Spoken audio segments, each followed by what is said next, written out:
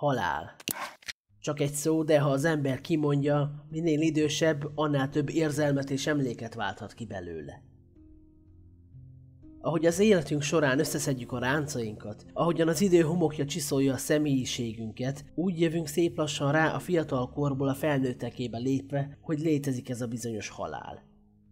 Hogy van egy pont, ami után mindennek vége. Ahonnan nincs tovább. Mint egy zsákutca, vagy mint amikor összetörünk egy vázát. Nincs többé, nem tudod, hogy mi van utána. Ha az emberi agy leáll, nem érzékeljük tovább a külvilágot. Még álmodni sem tudunk, egyszerűen tényleg nincs tovább. Legalábbis ezt mondják a tudósok. Jó magam, több videóban is elmondtam, hogy az igazságkeresők közé tartozom. A túlvilág léte és nem léte között örlődök, de nyitott vagyok mindkét magyarázatra. Mivel több videómban kitárgyaltam már a túlvilágot és azt, hogy mi várhat oda át, elérkezettnek találtam az időt arra, hogy feltegyem az egyik legnyugtalanítóbb kérdést ezzel kapcsolatban. Mi van, ha még sincs oda át semmi? Mi van, ha tényleg megszűnünk létezni, és a minket alkotó atomok és sejtek kapcsolódásának megbomlásával mi magunk is foszlunk? Az az állapot olyan lehet, mint amikor aludnánk csak álmok nélkül. Nem érzékelünk semmit, nem vagyunk tudatunknál, nem is fáj semmi. Számos mentős állítja, hogy minden ember, akit újjáélesztettek, azt hitte, hogy csak alszik. A nagy kérdés már csak az, hogy akkor miért fél tőle mindenki. Az ismeretlentől félünk.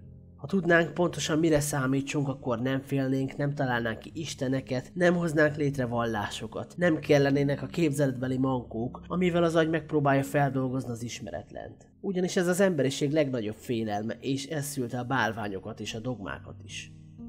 Ha valaki ateista, az az elmúlástól fél, hogy vége mindennek. A hívők pedig sok esetben az égi számonkéréstől, mert tegyük a szívünkre a kezünket, míg a keresztények sem élnek éppen mintaéletet, csak ezt sok esetben még magunknak sem merjük bevallani. Szerintem az egésznek a nyitja az, hogy az ember nem tudja elképzelni önmaga nem létezését. Egyszerűen nem tudja azt a szituációt lejátszani magában, hogy ő nincs. Nem lát semmit, nem hall semmit, nem képes semmilyen tapasztalatot szerezni a külvilágból, és még csak gondolkodni sem. Még aki tudja, hogy a halállal megszűnik létezni, az sem képes erre. Megint egy másik magyarázat az, hogy sokan valójában nem is a nem léttől félnek, hanem a halál előtti agóniától, a szenvedéstől. Mert valljuk be, keveseknek adatik meg az, hogy fájdalmak nélkül az ágyban párnák között szenderüljenek jobb létre. De az is lehet, hogy nem a haláltól félnek az emberek, hanem attól, hogy korai be nem teljesedett célokkal teli életet éltek. Esetleg hosszú és fájdalmas haláluk lesz. Attól, hogy nincs semmi a vég után, még nem jelenti azt, hogy az élet értelmetlen. Akinek nem inge, az kérem ne vegye magára, de sok mélyen hívő nem tudja ezt megérteni, hogy van élet a halál előtt is, és e szerint élik az életüket, amivel rengeteg mindent szalasztanak el. A haláltól való félelem nem csak a saját halálunktól való félelmünkben testesül meg. Nagyon rossz érzés belegondolni, hogy többet nem láthatjuk azokat a dolgokat, személyeket, amik vagy akik eddig fontosak voltak nekünk. Ha valamelyik szerettünk meghal, reménykedünk benne, hogy van valami nagyobb, valami magasztosabb, ahol egy nap majd újra találkozhatunk vele. Az emberi agynak természetellenesen borzalmas lenne tudatosulni azzal, hogy talán a halál után soha többé nem látjuk már a másikat, és az élet tényleg csak egy múló déli báb, amiből mire föleszmélünk már túl is vagyunk rajta. Megcáfolhatatlan tény, hogy a halál előbb-utóbb el fog jönni érted és értem, és nem tehetünk ellen az égvilágon semmit. Ha hisszük, hogy van oda át valami, akkor nyomaszthat minket az a gondolat is, hogy nem tudjuk, hogyan fizessük vissza azt a rengeteg dolgot, amit Isten vagy Jézus tett értünk.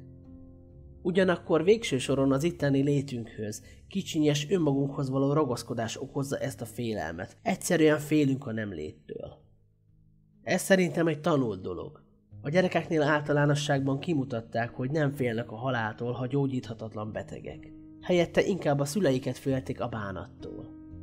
A haláltól való félelem tehát véleményem szerint egy tanult dolog.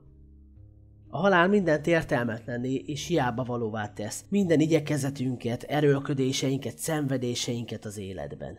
Ha az élet csak ennyi, hogy megszületünk és meghalunk, és közben tesszük a dolgunkat, akkor elgondolkodtató, hogy milyen hiába való ez az egész. Egy felfoghatatlanul hatalmas térben, egy nagyon összetett és bonyolult rendszerben vagyunk benne, illetve azok részesei. Ez a rendszer, amit alig ismerünk, egy csodálatra méltó értelmet és intelligenciát feltételez. Ha a rendszerről ezt feltételezzük, akkor hogyan lehet elfogadni, hogy a mi életünk pedig egy értelmetlen, hiába való élet? Remélem és megpróbálom hinni, hogy mindennek értelme van, hogy semmi sincs hiába, így maga a halál sem a létezés megszűnése pusztán. Az egyetemes igazságot azonban ott és csak akkor fogjuk mindannyian megtudni, amikor átlépünk azon a bizonyos küszöbön. A természet közeli úgynevezett civilizálatlan emberek között sokkal kevesebben félnek a haláltól, vagy egyáltalán nem gondolkodnak az elmúláson. Szerintem ez azért van, mert a kultúrájukba be van építve a halál, amivel mindenki találkozni fog az élete alkonyán.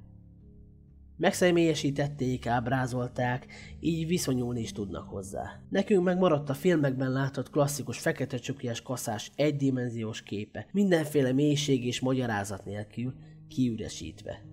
A mai modern ember tabusította a halált. Bezárta egy sötét szekrénybe, amit aztán lelakatolt és próbál eltolni magától. Az ismeretlen ismerőstől félünk igazából, aki a születésünk után a pójánk fölött görnyedve kokettálhatott a jó Istennel a sorsunkról, és ha szerencsések voltunk, hosszú és tartalmas életet kaptunk. Persze, ha hiszünk abban, hogy van odafent valaki vagy valami, ami mindenek felett rendelkezik. Tényleg irigylem azokat, akik szentül meg vannak róla győződve, hogy vár át valami. Mert valljuk be, a legnyugtalanítóbb választ mindenki el akarja hessegetni a kérdéssel kapcsolatban. Mi van, ha tényleg az örök sötétség jön, és az édes, csöndes nem létezés?